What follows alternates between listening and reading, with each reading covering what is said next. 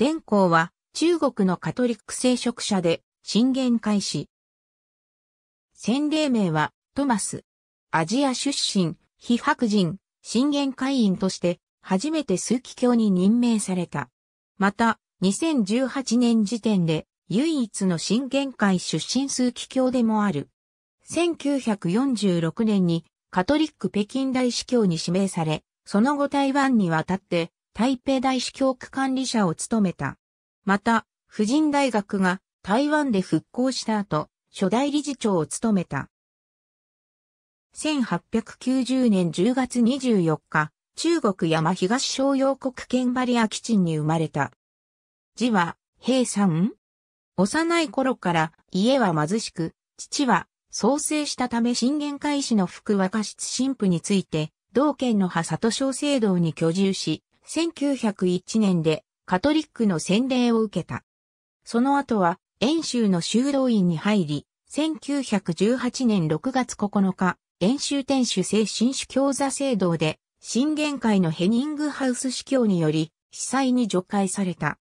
1929年3月8日、オランダで信玄会に入会し、1931年2月7日に信玄会主としての修正請願を立てた。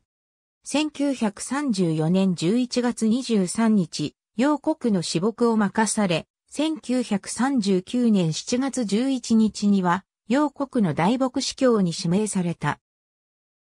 同年11月29日、教皇ピオ12世によって司教に除会され、1940年12月、陽国教区長条件に中華西部宣教修道女会を創立した。1942年11月10日には、ジンタオの大牧司教に転任した。1946年2月18日、ローマのサンピエトロ大聖堂で、ピオ12世により、極東出身者として初めて枢機卿に挙げられた。同年4月11日、彼の提案により、中国での正式な聖職議会が、ローマ教皇庁の認可を受けて成立し、北京大司教に任命された。1949年より前にアメリカのシカゴに移り、北京に避難していたカトリック根県教区の長ぶり、小江司教が、伝公の北京大司教区の代理として引き継いだ。1958年10月、彼はバチカンに赴き、最初にコンクラーベに参加した中国人となった。1960年に台北大司教区の管理者に任命された。1963年の教皇ヨハネ23世、聖居時には再び、コンクラーベに参加した。